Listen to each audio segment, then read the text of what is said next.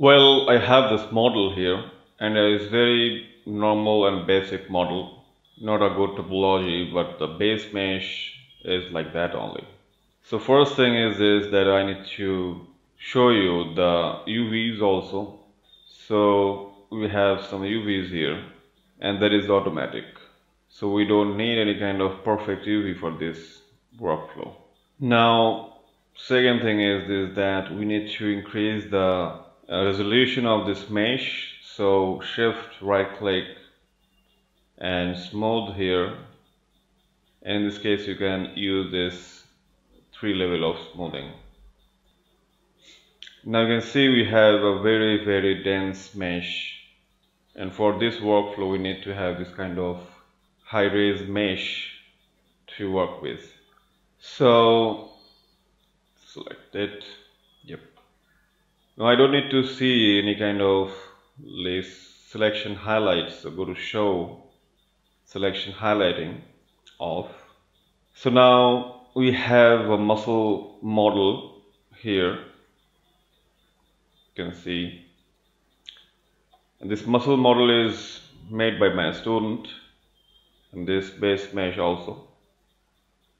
So you can see this is a very nice like muscle model not scientifically correct, physically accurate, but it's cool.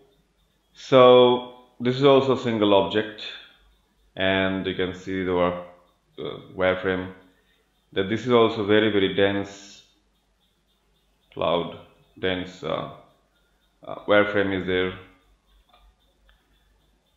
So unhide it.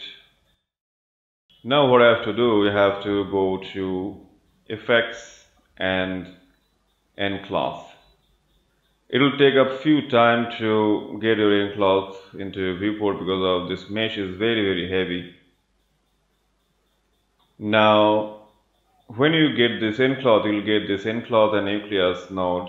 In nucleus node you have to select this gravity make it zero because of uh, I don't need any kind of gravity in this workflow and the solver attribute is like your quality of your simulation. So substeps is going to be 12 and max collision iteration is going to be 12 that means is what your collision and your quality is going to be good really really good.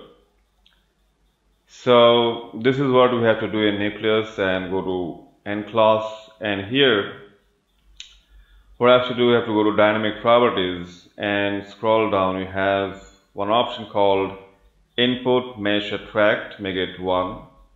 Very important part of this workflow. And go to your pressure and here you can make it 10 and go to right click and set a keyframe into frame number one. Go to 10 frame and make it minus 0.5 right click set key. So make sure we are in 1 is 0 and 10 means uh, minus 0.5 that's fine. So this pressure and this uh, input mesh attract is 1 this is what we have to do into enclosed shape. Now we have to apply a map in it. So I have prepared a map here in Mudbox. You can use any any like painting package to do this. And we have this soft, uh, you know, blurriness. The transition is also there. So you can see here we have.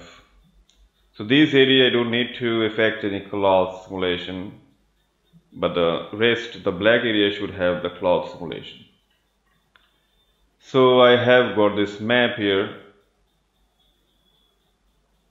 is a very very basic. So that is why I have told you that it the UV shouldn't be a very good in this case.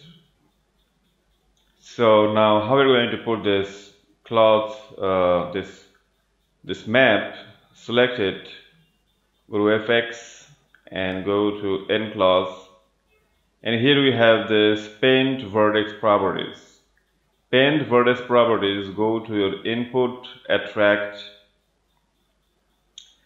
And here you can see that uh, collision strength make this manually input attract. And uh, basically uh, here we have to select the vertex but instead selecting the vertex you can go to attribute maps and you can import the map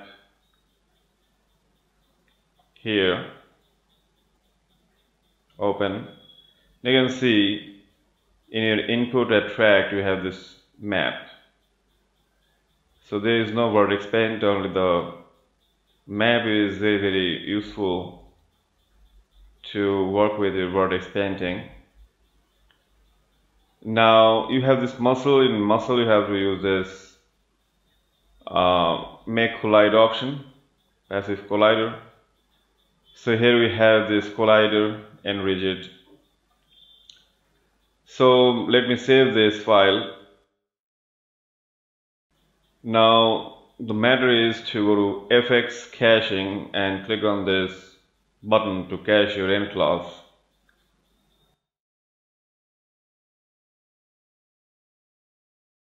Now the simulation is completed. You can see that within 10 minutes we have got this nice muscle output sculpting here. So few areas there that you have to clean this up but within 10 minutes you can have this kind of uh, effect and something that you can have that veins here which is coming up automatically you can see we have this kind of detail in arm, armpit you can see we have this kind of realistic looking muscles and which is uh, based on real muscle inside of it.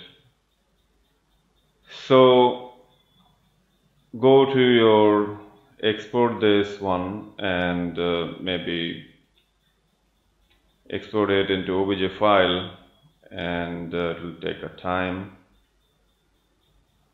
so new and save this in file import it and with this one merge import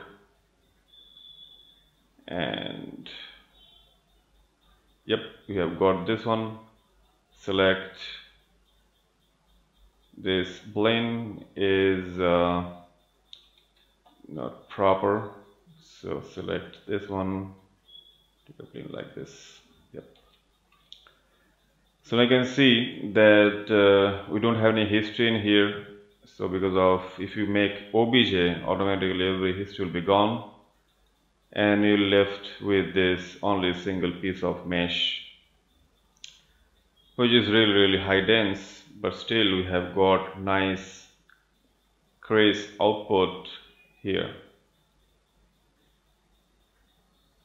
so what I have to do I have to do some cleanup go to surface and brush. And here we have this smooth brush. Press B and we can smooth the things out. So we can increase this power of smoothing things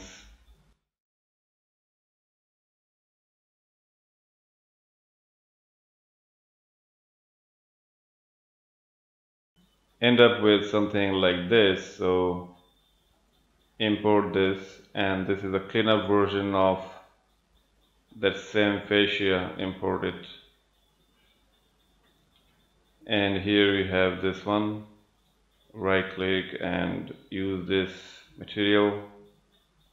And you can see this is the like we have see the veins is looking correct in here. So after the cleanup you can have this kind of output. And within half an hour you can get this kind of output. So hope you have liked it. Thanks a lot for watching